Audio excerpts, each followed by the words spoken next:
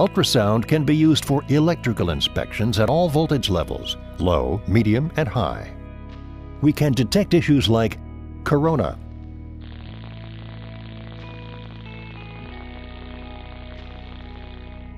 partial discharge or tracking,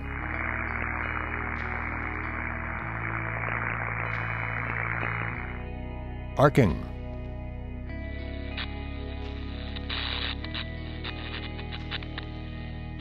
mechanical looseness on transformers,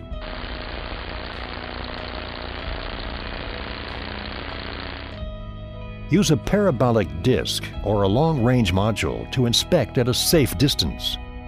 Inspect enclosed cabinets without having to open them.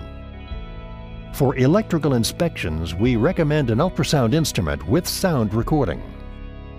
Different failures have their own sound pattern, so it's important to record the sound and analyze it for an accurate diagnostic.